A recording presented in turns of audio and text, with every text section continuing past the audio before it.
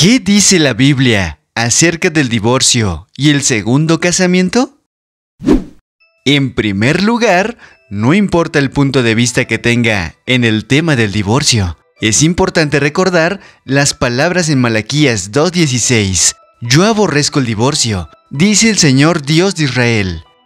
De acuerdo con la Biblia, el plan de Dios es que el matrimonio sea un compromiso de toda la vida. Así que ya no son dos, sino uno solo. Por tanto, lo que Dios ha unido, que no lo separe el hombre. Sin embargo, Dios comprende que el divorcio va a ocurrir debido a que un matrimonio involucra a dos seres humanos pecadores. En el Antiguo Testamento, Dios estableció algunas leyes a fin de proteger los derechos de los divorciados, especialmente de las mujeres. Jesús señaló que aquellas leyes fueron dadas a causa de la dureza de los corazones de la gente, mas no porque fuera el deseo de Dios.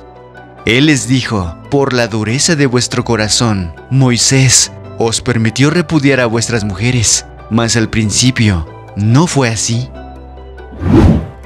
La controversia de si el divorcio y el segundo casamiento son permitidos de acuerdo a la Biblia gira principalmente alrededor de las palabras de Jesús en Mateo 5:32 y Mateo 19:9. La frase, excepto en caso de infidelidad conyugal, es lo único en la escritura que posiblemente da el permiso de Dios para el divorcio y volverse a casar.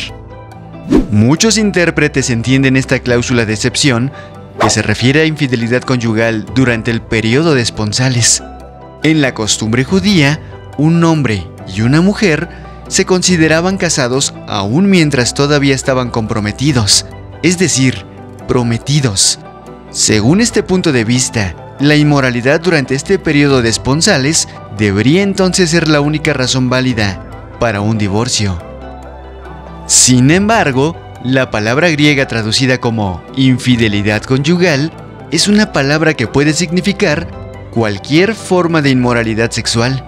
Esto puede significar fornicación, prostitución, adulterio, entre muchas otras. Posiblemente Jesús está diciendo que el divorcio es lícito si se comete inmoralidad sexual.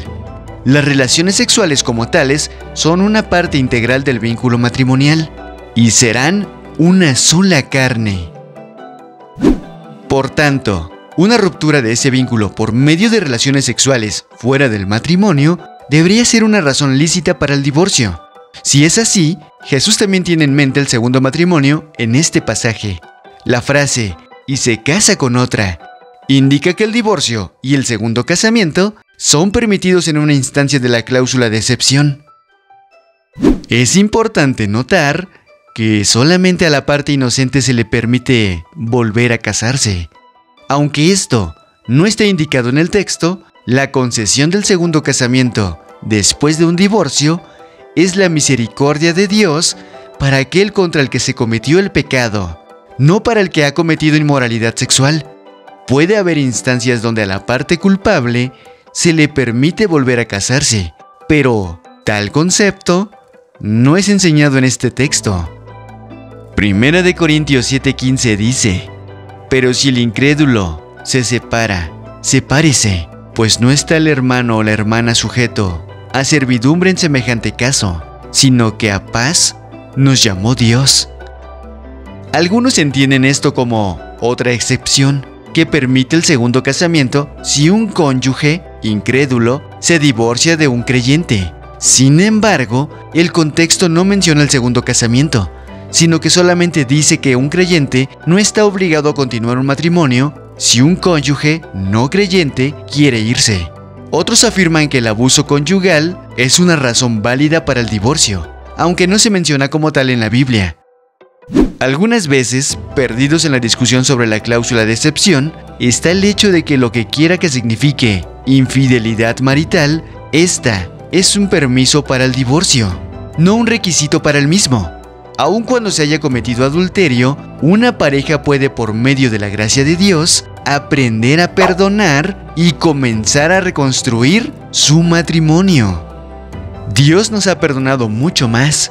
Con seguridad, podemos seguir su ejemplo e incluso perdonar el pecado de adulterio.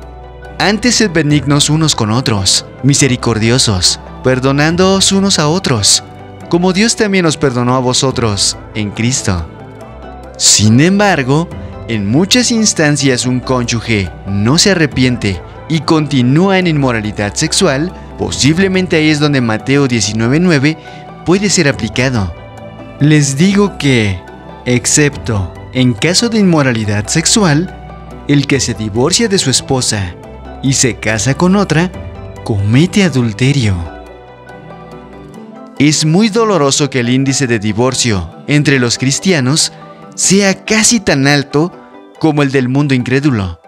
La Biblia deja muy claro que Dios odia el divorcio y que la reconciliación y perdón deberían ser las marcas de la vida de un creyente.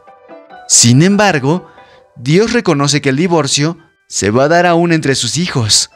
Un creyente divorciado o que se vuelve a casar no debería sentirse menos amado por Dios, aun si su divorcio o segundo matrimonio no estuvieran cubiertos bajo la posible cláusula de excepción de Mateo 19:9, Dios a menudo utiliza una desobediencia pecaminosa de los cristianos para llevar a cabo una gran cantidad de cosas buenas. Esto ha sido todo por hoy. Si te ha gustado, apóyanos con tu like. Déjanos tu opinión y dudas en la caja de comentarios. Las estaremos respondiendo. Suscríbete y activa la campana de notificaciones para que YouTube te avise cuando subamos nuestros próximos videos. Subimos videos todos los días.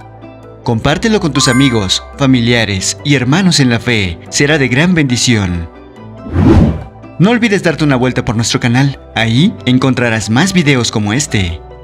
Ah, y recuerda, porque buscamos que muchos más sean libres.